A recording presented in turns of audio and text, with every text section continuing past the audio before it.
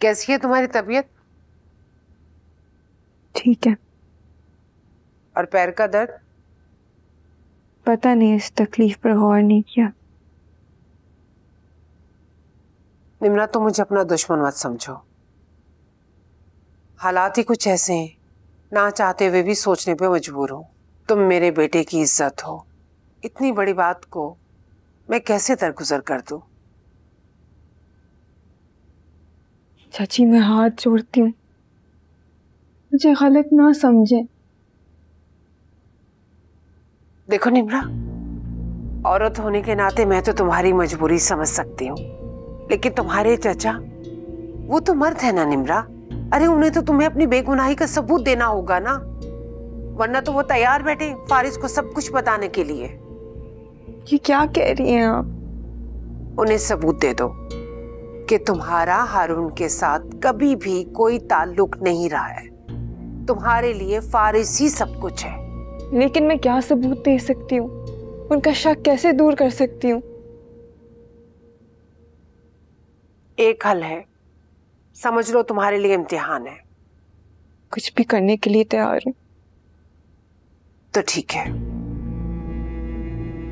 हारून की शादी इमन के साथ करवा दो।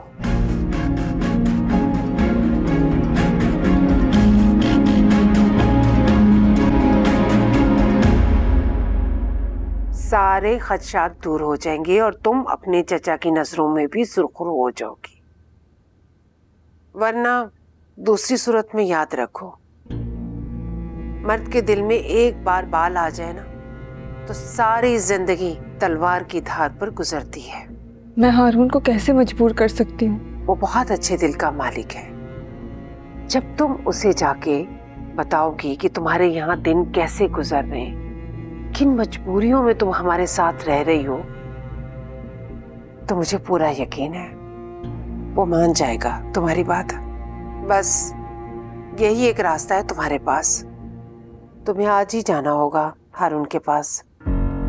उसे जाके मनाना होगा तुम्हें। मैं इमन से कह के तुम्हारे कपड़े इस्त्री करवाती हूँ। हारून मान जाएगा ना तो सारे मसले खत्म हो जाएँगे। अब देखो ना एमन तुम्हारे लिए सूप बना रही है। वो कितनी मोहब्बत करती है तुम्हारे साथ। उसके दिल में तुम्हारे लिए कितना एहसास है। उसके लिए तुम ये काम तो करोगी ना? करोगी ना तुम ये काम?